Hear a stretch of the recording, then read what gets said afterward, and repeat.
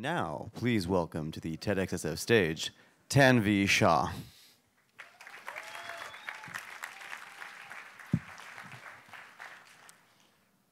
Long before we are ready to see the world, long before we even breathe it, we begin to hear it. In the mother's womb, for long, sound is our only sense and the world's constant and only signal that all is well. From when life begins, and even before you know it has begun, the world attempts to reach you, to touch you with sound. Overlaid on your mother's heartbeat, harmonized by your own, this sound becomes its own kind of music. And this is the music we listen to every single moment for as long as we live. Think about it. A heartbeat made you sleep when you were a baby.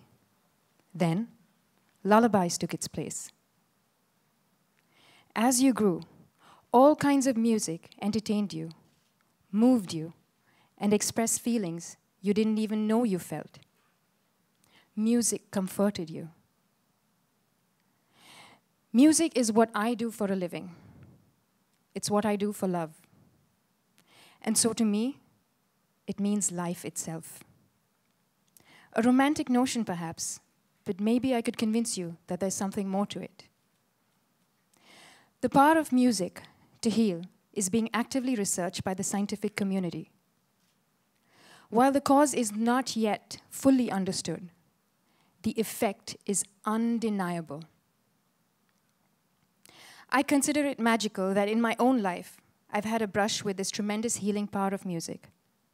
And it all begins with a song. To me, the song closest to my heart is not the one which got me the Grammy or any other award. And maybe you have never heard that song before. But this is the song that the mother of four year old Dave plays every single night to calm her autistic child and help him get a good night's sleep. Those of you who have little ones will vouch for how difficult it can be to put a baby to sleep. And with autism, this seemingly simple routine can actually be very stressful for the parent and tremendously traumatic for the child who does not feel safe enough to sleep because of the higher levels of anxiety that autistic children feel.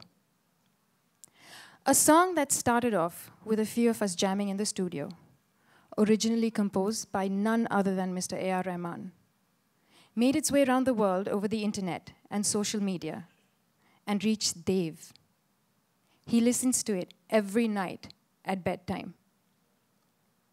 His parents say it calms him it makes him smile, and it helps him go slowly and surely to sleep. Now, can music cure cancer? I don't know. Can music bring about world peace? I don't know. But what I do know is that music can help an anxious child find peace and calm to smile blissfully in his sleep. And that is a great starting point for me, for all of us. This song goes out to Dave and everyone who's experienced the power of healing through music. I know I have.